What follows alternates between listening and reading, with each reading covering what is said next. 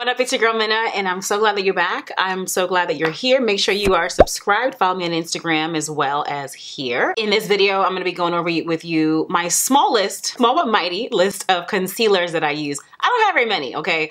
I don't like to have a lot of a lot of things. I like to get rid of stuff, throw away things, give them away so that I don't have so much of things. I'm just that kind of person. I don't like to have too much of stuff. So I'm gonna show you what I have for concealers, what I'm using, what I don't use, the colors that work, the colors that are not working. And I hope that this is helpful for you because I did do a video on the foundations that I use. So you already know what foundation I have my stash as of late. So if you're excited give the video a thumbs up and also make sure you're subscribed. Okay, here we go. Tried and true, oldie but goodie. Like everybody has this. You probably have this LA girl, okay? Everybody, look at, there's a, someone delivering, wow, random, not random, but regular people in their cars deliver Amazon packages. That's fascinating to me. It's a black girl. Her braids are cute. Hi, hello. So tried and true, we all know about the LA Girl Pro Concealer, right? Like I just have not made my way over to the beauty supply to buy more because of all this quarantine stuff. I, I can order online, that is true. I just been enjoying other ones that I'll get to. But this is still OG. This is still OG. This is the LA Girl Pro Conceal in the color Toffee. Fawn is cool. Fawn has a yellow undertone. Fawn is really not for me because Fawn isn't light enough, but I find that Toffee is so great. The next concealer that I had a hard time finding my exact color in is the Morphe concealer. I've bought three of these three different colors and the other two are too light and this one right here is perfect for me. It gives me the perfect coverage. The Morphe concealer dries very quickly. It's very matte, full coverage. It's to me high powered. I love it a lot. In fact, I can't even find it anymore. It's sold out. I don't understand that. How is a certain color sold out and been this way for so long? I'm irritated.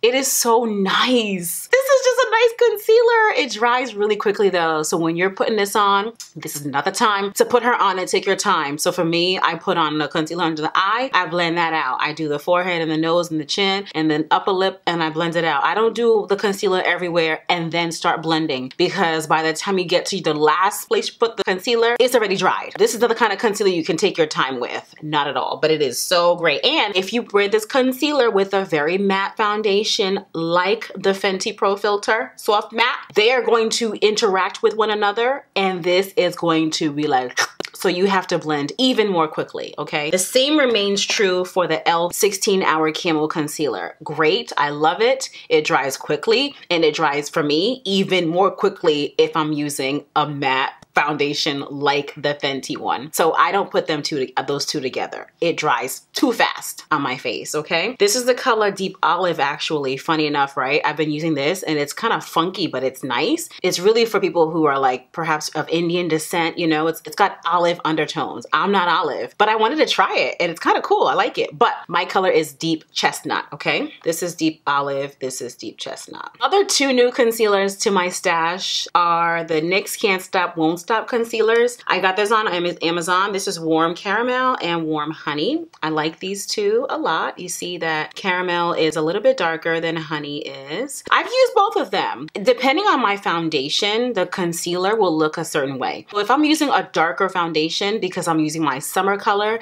then my concealer might look lighter than usual. It's good to have different shades just in case, you know? And then, you know, you've got the Juvia's Place I Am Magic Concealer. I use the color 10. 10 is very very light. 10 is very light. If you're using me as a color reference, I want you to know that 10 is very light. It does blend in beautifully. I like this concealer a lot. I've re-upped on this a few times. This concealer does take time to dry. So it's like Got, I don't know if it's got more water in it. I don't know what it is, but this will give you more time to dry. So when I'm wearing a very drying foundation like a Fenty, I will make sure I use this concealer because it'll give me time to blend it as opposed to just sucking me in and drying out too fast like the e.l.f. or the Morphe one. All great, but it's really important to know how your concealer performs with your different foundations so that you can make an educated decision before pairing the two together. I'm trying to tell you from my own experience, my concealer has dried before I could have blended it and I was going to work and it was a problem. I was like,